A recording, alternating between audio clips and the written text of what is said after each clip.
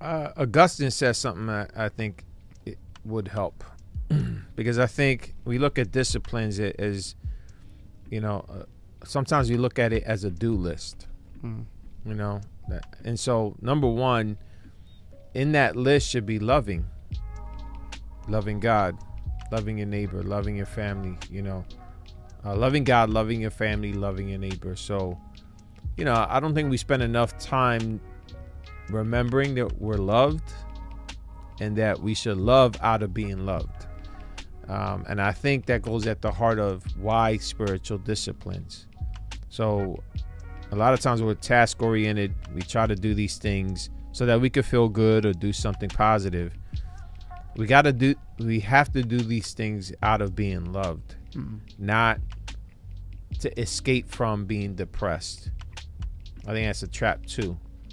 Um, so if you don't know you're loved, then you know I would say recall the gospel. You know, um, so our jobs as pastors is to always point to Christ and remember and show our, show God's people that you're loved. Mm. You're loved by Christ, and out of being loved by Christ, the world would know uh, that that He loves us by the way we love one another. But the love one another comes from remembering we've been loved.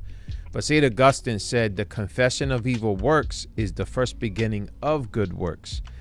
And so I think that's the other part I wanted to share is the simple confession of the things that we do that aren't godly. I think that's the stepping, the first step to actually doing good works and spiritual disciplines. Repentance, seeing the, the flaws in our lives, and then moving forward into the things that we're supposed to do out of being loved and for his glory. Um, so that's what I would share on that. Yeah, no, that's good. I, Yeah. I was looking at Elizabeth's comment. She said, "Where do we direct questions or comments after the show?" And I told her we just at this point we just conclude the audio portion of it. At this Right. point, we'll still be live. Yeah. Um, I will say this: uh, you need to, we need to protect our spiritual health at all costs. This is in, this is vital. This is important. As I said earlier in Second Peter three, believers in Christ are commanded to grow. It's a commandment. It's something that we are supposed to do.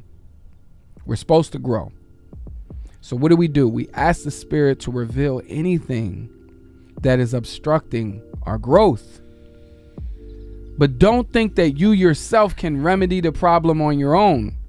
Hmm. Turn instead to the great physician and express your desire for a Christ like heart. Ask for grace.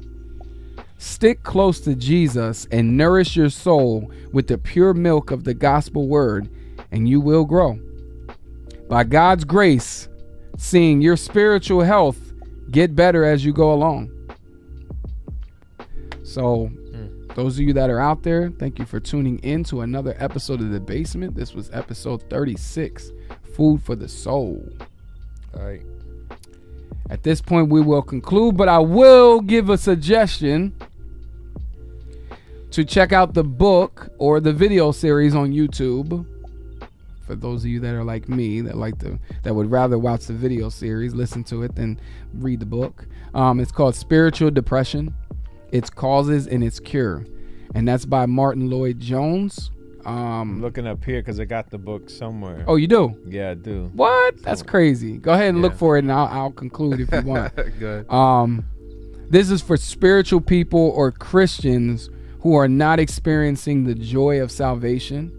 Um, they may be depressed, um, or they just may be looked at as a miserable Christian.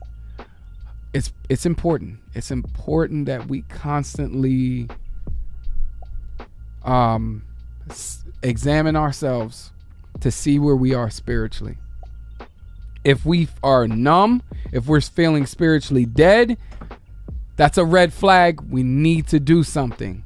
Now, obviously, that doesn't mean I'm not saying that you lose your salvation at some point, but you can lose the joy of your salvation and feel like you need to be saved again. um, but anyway, um, at this point, we will conclude the audio portion of it. Those of you that are watching, stay live with us. We're still going to be here. Um, but yeah, this is where we close this part off. So God bless y'all. We will not be back anymore this year. We'll see you guys next year. Yeah. This is the last episode of the year. So we'll be back first of the month, January 1st.